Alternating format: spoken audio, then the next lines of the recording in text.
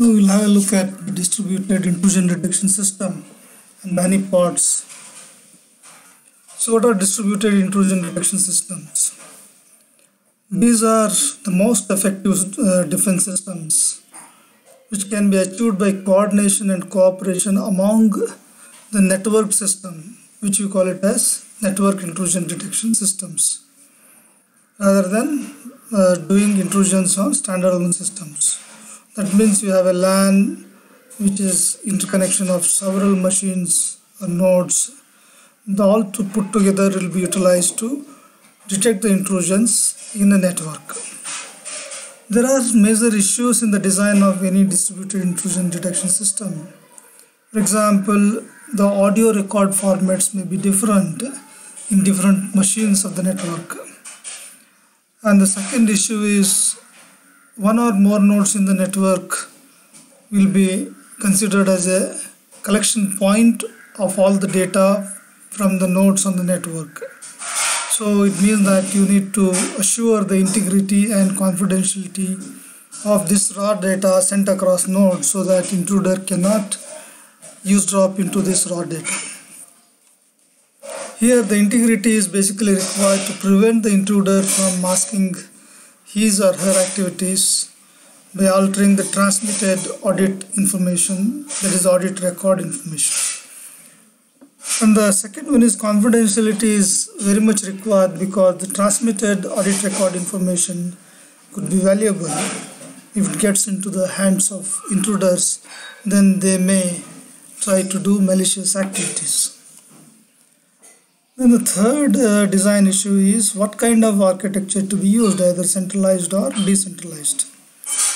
With the centralized architecture, normally there will be single point of collection. There will be one center, central machine which collects all the data, audit data, and using that audit data from different machines, correlation is made, and then you know decision is taken but this will lead to single point of failure. That is if this single machine fails then whole intrusion detection system fails. Then the other one is decentralized architecture where there are more than one analysis centers rather than only one machine. But these machines which are acting as the points of collection and analysis must coordinate among themselves their activities and exchange the information to arrive at the intrusions. So this is an example of a distributed intrusion detection system which was developed by uh, University of California Davis. You look at the diagram there, the architecture comprises of central manager, LAN monitor, host, and there is an agent module within the host as well as agent module within the LAN monitor and there is a manager module within the central manager and there is a router connecting the central manager to a LAN through the wide area network that is WAN. So let's briefly explain about the different modules here in this architecture, distributed intrusion detection architecture. There are three major elements host agent, LAN monitor agent and central manager. So let's look at the host agent.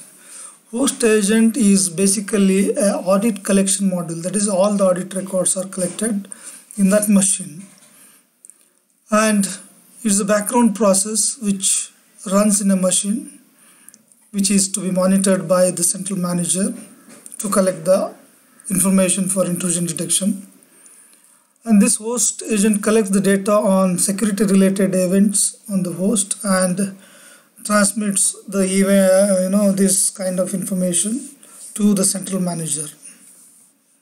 Then you have a LAN, LAN monitor agent which basically analyzes the LAN traffic.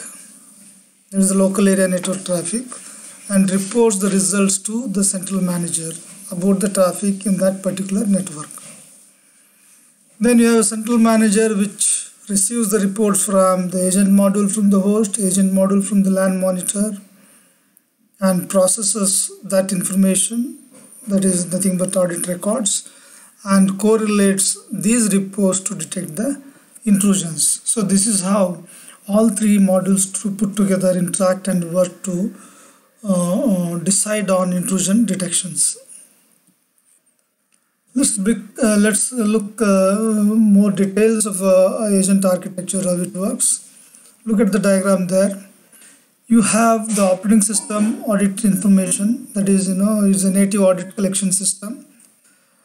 The agent captures all these audit records from the native uh, records and then this is given to the filter where the filter job is to reformat the content into standardized format which we refer to as host audit record that is HAR and this host audit record is given to the logic which utilizes the template driven logic and analyzes the records for suspicion activity basically like notable activities signatures or any noteworthy sessions.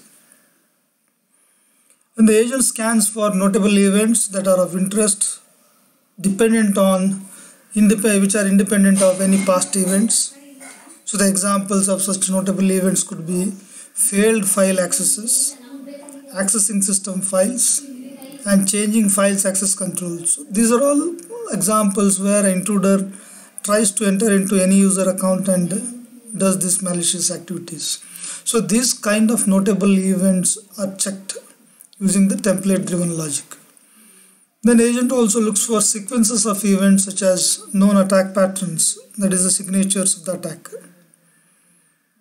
Then once these are all noted, then it is given to the agent protocol machine where it looks for anomalous behavior of an individual user based on the stored historic profile of a user such as number of programs executed or the number of files accessed etc or number of commands executed so all kinds of history of the user is stored there and that is compared with this uh, activity.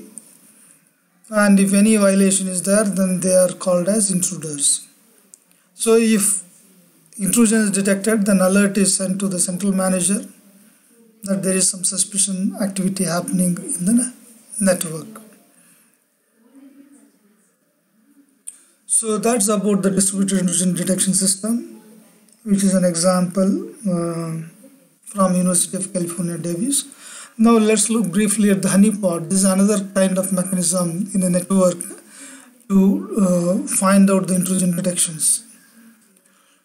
So these are basically decoy systems, which are almost similar to the critical systems and they are designed to lure a potential attacker away from the critical systems means these uh, decoy systems attract the intruders to access it and then uh, the system studies the behavior pattern of those intruders. The honeypots basically divert an attacker from accessing critical systems. They collect information about the attacker's activity. They encourage the attacker to stay on the system long enough for administrators to respond. These honeypots are normally filled with the fabricated information which are valuable, which are designed to appear valuable, but that a legitimate user of the system would not access. And anybody trying to access any honeypot is a suspect. This decoy system is instrumented with sensitive monitors and event loggers that detect the accesses into it and collect information about the attacker's activities. So any attack that happens on honeypot is made to seem successful and administrators have time to mobilize and log and track the attacker without ever exposing productive systems. Initial efforts involved a single honeypot computer with IP addresses designed to attract hackers. But this kind of concept on a single um, computer can be extended further to the network. So the recent research has focused on building entire honeypot networks that emulate an enterprise possibly with actual or simulated traffic and data. Once hackers are within the network, administrators can observe their behavior in detail and figure out what kind of defense mechanism has to be developed to tackle these kind of hackers. So that is a little bit of discussion on honeypots. So that completes uh, you know, overview of distributed intrusion detection systems. After having gone through this video, test your outcomes by answering these following questions. What is meant by distributed IDS? List the design issues in DIDS. Explain the working of DIDS with an example. How does an agent work in DIDS in the given example? Explain the concept of honeypot networks.